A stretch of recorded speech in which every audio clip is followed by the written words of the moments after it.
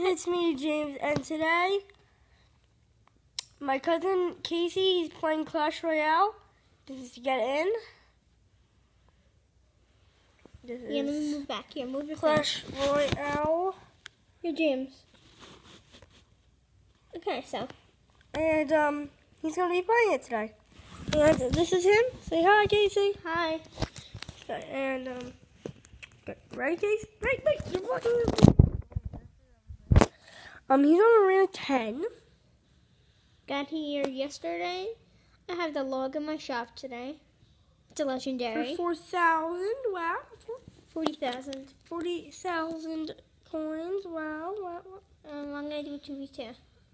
And I'm in his clan.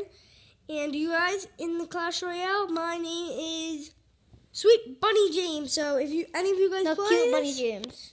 Wait, what? Aren't you cute bunny James? Yeah, I'm Cute Bunny James. Oh yeah, I'm Cute Bunny James. And um, if you guys ever want to come into my clan, you have to ask um me. I can um ask Casey to kick someone, and then you guys can come in. Right, Case? Yeah. Dude, you're blocking the phone.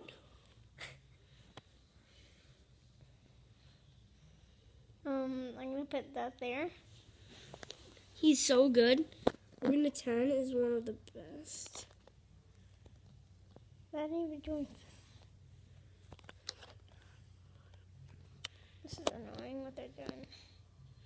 You're right, it is. If you ever need any healing, you guys just use the healing one, but it doesn't heal your towers.